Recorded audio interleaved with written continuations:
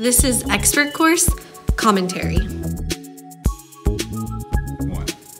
So today I'm going to be talking to you a little bit about how to add commentary to your evidence in your body paragraphs and really focus in on how to write commentary that allows you to really provide a lot of analysis and to put your unique voice into your writing. So remember that when we talk about commentary, we're also talking about elaboration and uh, we're really just working on explaining our evidence, showing how our evidence is meaningful, and relating it back to our thesis statement. So uh, I have an example quote here that we're going to use uh, as we talk about commentary coming from one of Tolstoy's short story, How Much Land Does a Man Need? And I'm just going to remind you now that every time you use evidence, whether it be in the form of a quote or uh, maybe it's paraphrased information, whatever it might be, you always have to comment and elaborate on it. That's just one of those things that you always have to do.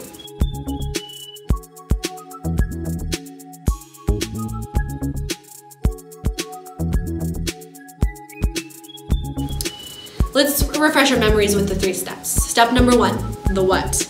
Explain what the quoted evidence is saying.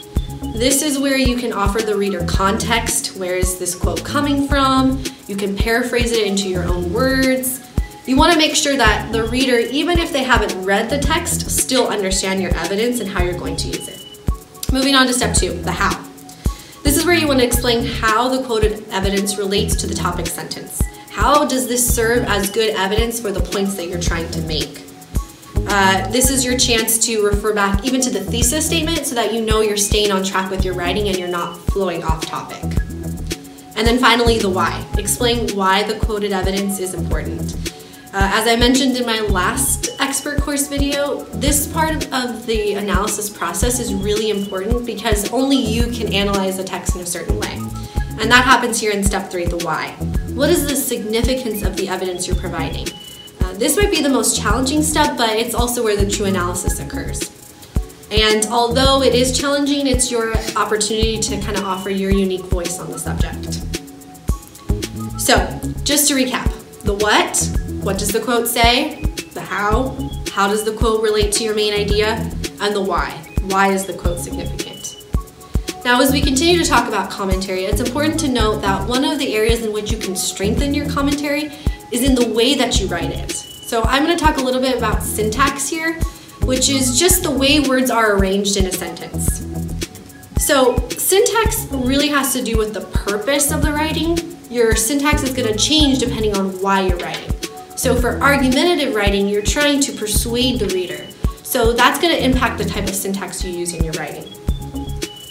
One of the ways to improve the syntax in your writing is to use a variety of sentence lengths. If you only use short sentences, the reader is going to get bored very quickly. You want to instead use a variety. You don't have to avoid short sentences. Short sentences have a time and a place. But you also want to mix it up so that the reader can really move through the writing effortlessly. Also, you don't want to inundate your reader with too many long sentences where they're losing track of the main idea. So the best way to go is to use a variety of all three. Now, there's also a few other ways that you can use syntactic variety. There's the basic structure, where you're just providing a subject and a verb. You can change the conformity of your structure by putting the verb in front of the subject to kind of switch things up for the reader, and it kind of grabs their attention too. Um, you can use parallel structure. If you want to make a few points uh, equal in importance, then you would want to use parallel structure. You can also use punctuation by using a semicolon or a colon to uh, make a longer sentence, then your readers able to kind of see how ideas connect together. You can also build syntactic tension by waiting till the end of a longer sentence to provide the main idea so that the reader is almost hinging on what you're saying until you get to that main point. Or in a reverse option of that, you can do a loose sentence where you offer the main idea right away and then provide some context afterwards.